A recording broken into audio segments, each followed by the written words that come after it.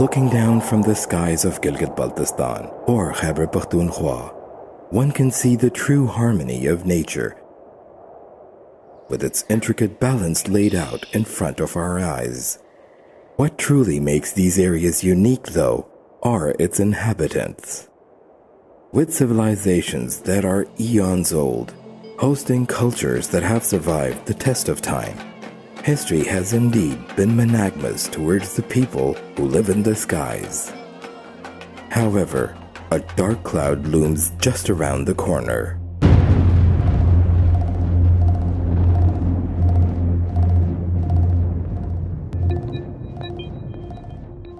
Pakistan is a very climate vulnerable country and within Pakistan the area which is most vulnerable are the northern areas and the northern part of KP. Our glaciers are melting at a faster rate than in the past. There are about over 3,000 lakes, small and big lakes, which have the potential of uh, causing damage to people living downstream.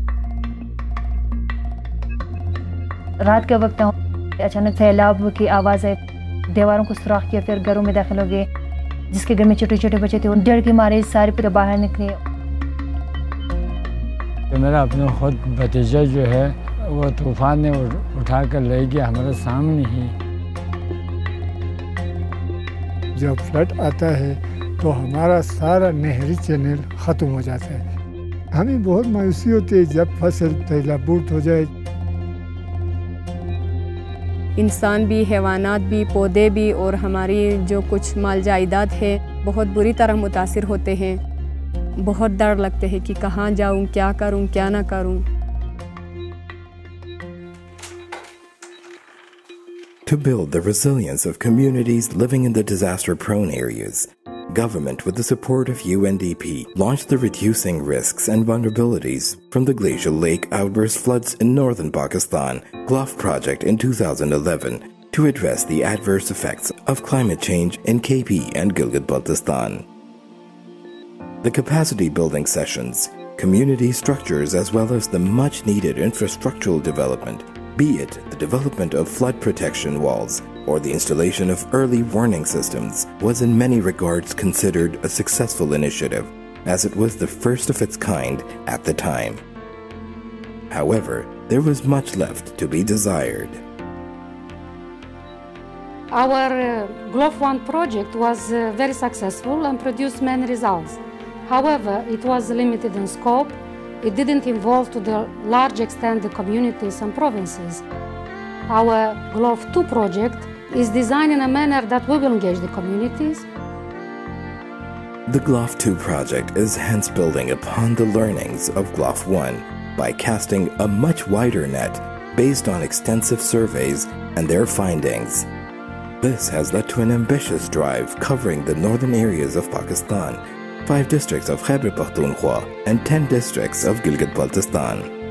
The idea behind this project is basically to, to mitigate the effects of these disasters and basically to educate the local population as to what are those signs that a lake can become uh, a dangerous lake.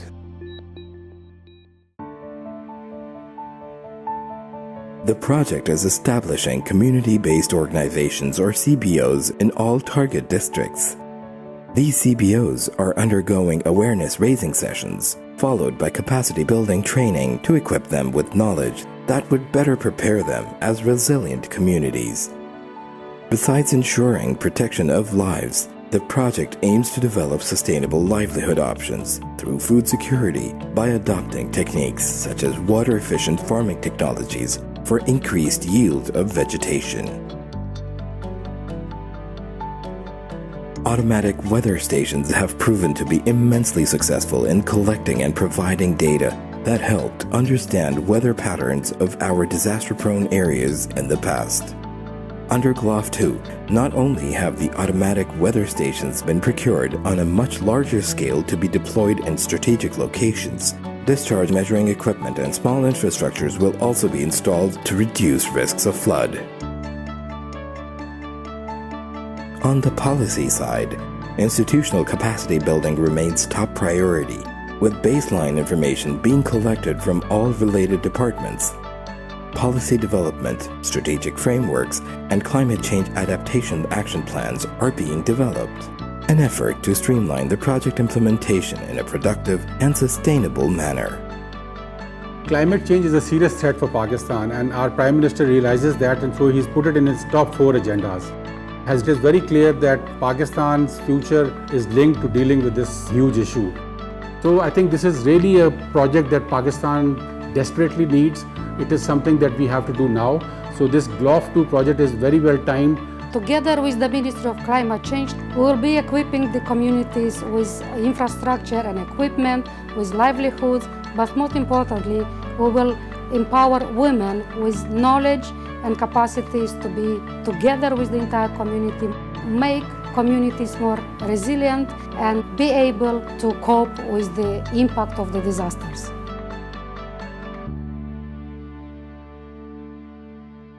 Climate change is real, and it has become omnipresent, showing signs in every corner of the globe. For the people of Khyber Pakhtunkhwa and Gilgit-Baltistan, while there is little they can do to avert the course of nature, they can certainly adapt to it. Owing to the brilliance of human intellect and their innate inner fortitude, hopefully horrors of yesterday will stay as memories, never to be reprised. اب مجھے سیلاب سے ڈر نہیں لگتا کیونکہ گلوف والوں نے کہ ہمیں آگاہی دیا کہ یہاں پہ سارے جو ہے رسکی ایریاز سیف ایریاز ہیں۔ اور اگر بارش زیادہ ہو جائے تو پھر ندی نالوں کو بند کر دیں گے تو پھر کوئی ہمارے لیے کوئی خطرہ نہیں ہو سکتا۔ ہے ابھی یہ نالے میں بند وغیرہ ہونے سے یہ گرشے سے جو آئیں گے وہ بھی کم ہوگا۔ ہمیں امید ہے یہاں بچ جائے گا اور ابھی نقصانات نہیں ہوگا۔ اتنا شور تو ہم میں آ گئے کہ سیلاب پہ کس طرح مقابلہ کرنا ہے کس طرح نمت ازما ہونا ہے، اس کے لیے ہم تیاریاں کر رہے ہیں۔ ہم اس امید سے ہے کہ اگر اس گلاشر گرافٹنگ کا سلسلہ جو ہے اگر یہ پورا ہوا تو انشاءاللہ ہم خوش اخصالی سے بچ جائیں گے، ہماری زمینیں آباد ہو جائیں گے، بہت سارے مسائل دور ہو جائیں گے۔